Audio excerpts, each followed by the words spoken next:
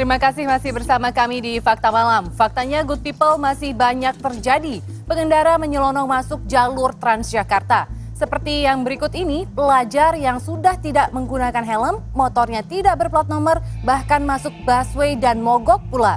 Membahayakan, menghalangi perjalanan, kejadian ini pun membuat penumpang Transjakarta geram.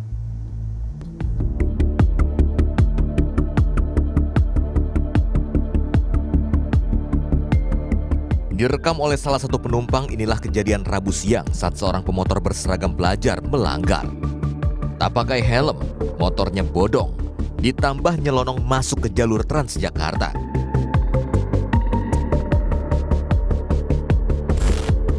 Di ruas dan Mogot Cengkareng Jakarta Barat, pelanggar mogok. Pengendara motor metik ini panik, halangi laju bus. Pengemudi Transjakarta dan penumpang geram. Namun motor pelajar pelanggar ini bisa berfungsi lagi dan ia kabur melarikan diri.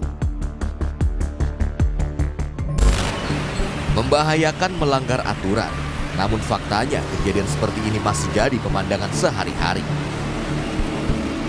Tetap kita lakukan penegakan hukum, baik pagi maupun sore, khususnya jam-jam macet, kita tindak untuk tertib masyarakat agar bisa tertib tidak melewati.